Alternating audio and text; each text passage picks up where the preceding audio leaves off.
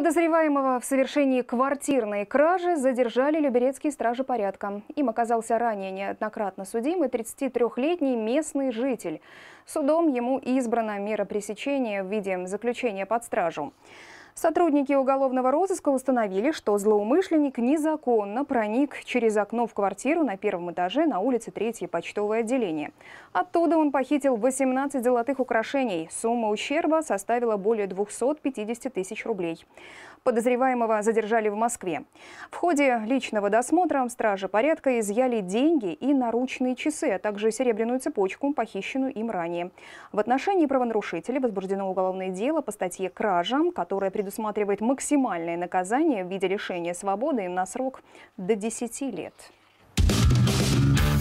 Всем привет, я Луиза, а вы смотрите телеканал ЛРТ. Подписывайтесь на наш канал на YouTube, ставьте лайки, и вы будете в курсе самых интересных событий.